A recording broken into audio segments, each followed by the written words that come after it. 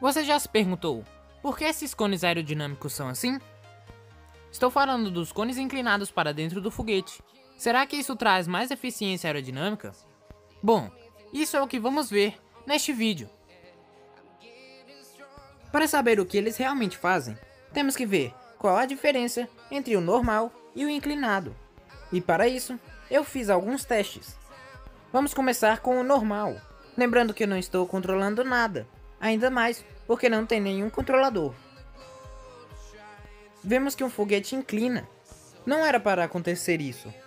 Deve ser por conta da atmosfera. Vamos testar sem ela. Para isso, devemos usar cheats.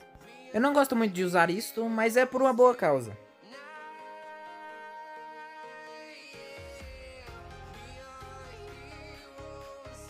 Dessa vez, sem atmosfera, o foguete não inclinou. Isso também conclui que o centro de massa está no meio. Vamos logo para o teste do cone inclinado. Apoie o canal sendo membro e, em troca, receba alguns benefícios. O foguete dessa vez inclinou para a esquerda.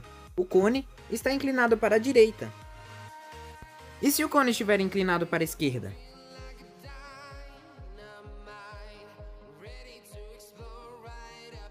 Aconteceu o que era esperado. Quando o cone está inclinado para a esquerda, o foguete vai para a direita.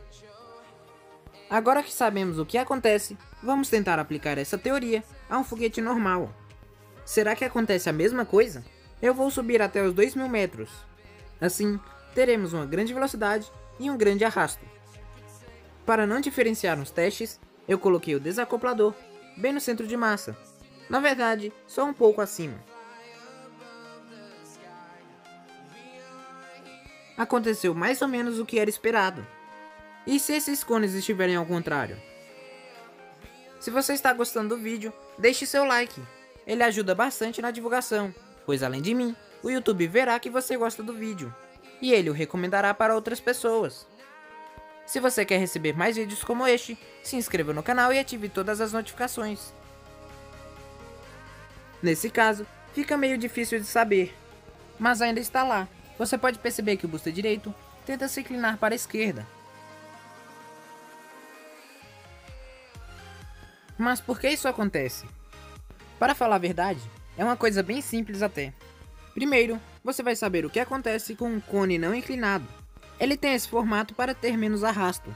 Estas setas representam o ar que vai em direção a ele. O ar se divide e vai para os extremos do cone. E logo após isso, segue o tanque de combustível. Algumas pessoas pensam que o ar segue a inclinação do cone, bem desse jeito. Mas isso não acontece, por conta de um efeito chamado efeito Coanda. Esse efeito faz um filete de água ou de ar seguir a superfície de um corpo, no caso, o foguete. Mas agora, o que acontece com um cone inclinado? O ar também segue pelos extremos. O porquê dele inclinar é que a superfície que mais sofre arrasto é esta, ela empurra o cone aerodinâmico, neste caso, fazendo ele ir para baixo. Isso ajuda num foguete, porque após a soltura de um booster, a aerodinâmica o empurra para longe do foguete, evitando colisões. Isso é necessário em alguns foguetes e outros não. Esse é o propósito do cone inclinado.